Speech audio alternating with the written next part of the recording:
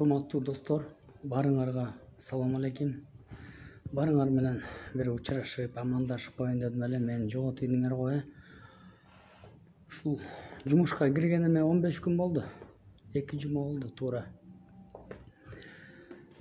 иштеп атабыз кудайга шүгүр күндө эле пресс релизден ар жактан окуп атсаңыздар керек азыр эмнени бир отчет берип коеюн сиздерге эң чоң жетишкендик бул эл үчүн жеңилдик десек мына таласты айтсак болот биринчи эле совещаниедан айттым эле сотрудниктериме ушу таласта фасолдун схемасын бүт киргиле кимдер доляга отуруп алса кимдер посреднический фирмалар мындай необоснованный эмелер болсо ошонун баарын көбүгүлө деген да ошолор элдин эсебине отурушат деген да могу фасольду фасольду айттым эле таласка барганда кымбаттатып берем дагы кымбаттатып берем деп мына кудай буюрса э, эң эле бери жагы сексен токсон айтат жүз сомдон болуп атат цена. Э, мен келгенге чейин жетимиш сомго чейин жетпечү ал да и то биз кыйкырып атып жетимиш сом алганбыз э, былтыр фасольду отуз сомдон алышкан отуз беш элүү сомго да жеткен эмес былтыр.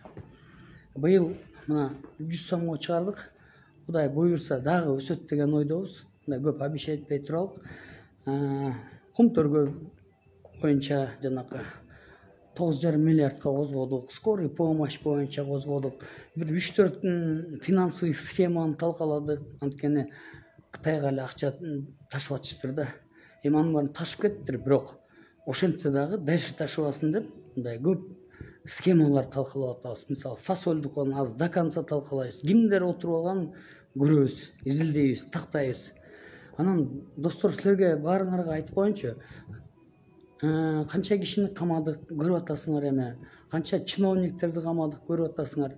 Азыр эми эмне тигини камабайт муну камабайт деп атышат. Депутатский иммунитети болуп атат көп кишинин мен ген прокурор эмесмин да. Келип эле камап койгондойчу. Депутатский иммунитеттери болуп атат көбүнүкү ушундай болуп атат да. Анан кудай буюрса баарына жетебиз. Только эл силер колдоп тургула биз эл үчүн кылабыз элдин жүгүн элдин эсебине отуруп алган могу көп посредниктердин баарын түшүрөбүз каякта болбосун. Анан могу эл журттан бир суранып кетет элем да мага өзгөчө көп адам үмүт кылып келип атат да үмүт кылып. Ошолорго мындай айтып коеюнчу. Бир аял келиптир мен беш жылдан бери убийством ачылбайт дейт бүгүн. Эми финполициянын убийство менен эмне жумушу бар. Бир аял келиптир комогумду мэриягө келип эле жүктөп кетти дейт. Ошону алып бер дейт. Оштон мэрия бир комокту алып кетип калды дейт. Бирөө контейнеримди алып бер дейт. Бирөө элүү миң сом алдап кеткен ошону алып бер дейт. Бирөө жүз элүү миң сомдук бир нерсени күйгүзүп ийген аны кылып бер дейт. Ушундай да иш козгоп бер деп элечи анан мен азыр бүт болгон саналуу эле тергөөчү болсо фин полицияда. Ошо тергөөчүнүн баарын бирөөнү контейнерге бирөөнү дүкөнгө бирөөнү камокко бирөөнү элүү миң сомдук ишке бирөөнү миллион сомдук ишке жумшай берсем качан ачабыз чоң иштерди? Достор мына уже силерге мындай эле айтайынчы. Азыр айтып атпаймынбы мына миллиард миллиард деген акчаларга иш козголуп атат могу схемалар талкаланып атат. Схемалар талкалап дальше алып кетпейт алып кете албайт ошо схемалар талкалап атабыз азырчы бизде деген өзүнчө эле кыргызстан бир схема болуп калыптыр да бизден акча сүргөн эле жер болуп калыптыр ошонун баарын талкалап атабыз э, финансовый полицияда мыкты балдар бар экен но тазаланчу да балдар бар да тазаланчу да балдар бар экен анан кудай буюрса мына иштеп атабыз кудай буюрса жакында дагы жакшы результаттар болот жакшы мындай бир он беш күн болду иштегенине уже кудай буюрса айтпай турайынчы бул тергөөнүн эмелери бүт баары канча миллион деген сомдорго ущербти төлөттүк эми азыр. Документ колго тийгенде анан чыгарабыз канча деген жүз жүз жүз миллион жүз миллион деген мындай эмелер төлөнүп атат кудайым буюрса азыр документтери даярдалып атат баары иш жүрүп атат анан көчө чыгып атат сыймык эмне кыл деп. Мен эмне элге обещать этсем баарын жасагам бүт жасагам мага эч ким мындай претензия эле койбош керек. Мына мени бияка иште деп баарыңар айттыңар. Мына иштеп атам. Эми эми кыргыздар эми укмуш экенбиз эми кабинетти көрбөй эле койгулачы пожалуйста.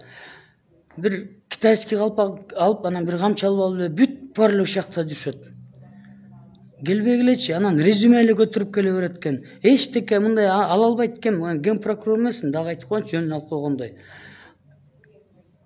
анын мыйзамы башка биздин мыйзам башка бизде бүт конкурс экен. Ошону айтайын дегем достор анан кудай буюрса иштеп атабыз баары жакшы. Мындай түшүнүк менен мындай бири бирибизди кабыл алалычы ушинтип чыгып турам кудай буюрса пашинян деле күндө чыга берет го мен да чыгып айтып турам.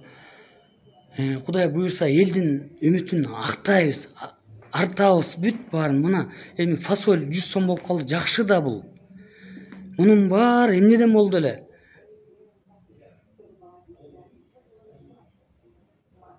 мунун баары политический мотивом эле ушул фасольду атайын түшүрүп салышканда бүт эмелер посредниктин баары отуруп алган ойлосоңор өзү дыйкан саткан кишиден аз тапса ошол себептен азыр кудай буюрса мына фасоль бүгүн мына жүз сом болуп атабы дагы кудай буюрса дагы мына изилдеп азыр целый комиссия группа кирип атат ошол фасольду карайт баарын кимдер отуруп алганын баарын күбүп чыгарабыз фасольду кымбаттатабыз ошол эң чоң жетишкендиктер баарын эми мен тергөөгө кийлигише албайм. Тергөө бул процессуальный лицо бул прокурорго баш ийчү должность непосредственно прокурорго баш ийчү должность. Эми мага как штатный расписание боюнча эле анан ошол достор ошону айтып коеюн дегем силерге. Баарыбыз аманбыз эми азыр көрүп атабыз саясий акыбалды көрүп атабыз. Бир дагы эч кимге биз э, болушкан жокпуз эч кимдин эмесин камчысын урган жокпуз. Мен саясатта бир да адамды койгон жокмун мындай могу болсун могу болсун деп. Бир дагы кадровый эмеге маселеге кийлигишкен жокпуз саясатына кийлигишкен жокпуз мына мен биз мындай иш кылабыз биз мына финполицияны бердиби биз иштей беребиз мисалычы азыр бүт айткан көпөстөрдү кудай буюрса аягына жеткиребиз көп киши просто эме болуп калып атат иммунитети болуп калып атат ал иммунитети бар адамды мисалы кичине трудностьтор бар да. Ошо достор баарыңарга чыгып аманчылык болсун көрүп атасыңар мына пандемия болуп атат бүт банкрот болуп атат мындай. Ушундай э, казынада бир тыйын жок экен короче эчтеке жок мондай ушундай заманда мындай азыр садыр нуркожоевич дагы ушундай бир өтө оор мезгилде башкарып турат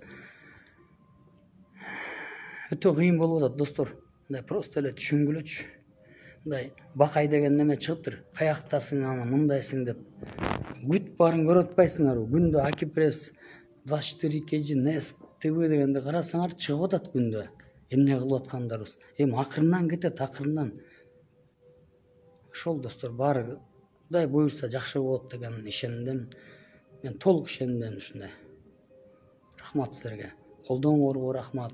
Мына баарын көрдүк э эмне гана болгон жок. Баары бир турдук чогуу турдук. Эч ким эч кимди кидайт эткен жокпуз. Ошол эле кудай буюрса мага убакыт бергилечи мага кабинетиме көрүп келе бербегилечи китайский калпак көтөрүп алып эле резюмесин алып кимди ала албайм биякта бүт штат уборщицасына чейин полный экен анын баарын кетирейин десең азыр мурдакыдай эме жок азыр. Жөн эле мына тазаланчу тазаланып атабыз ошол жакшы тургула достор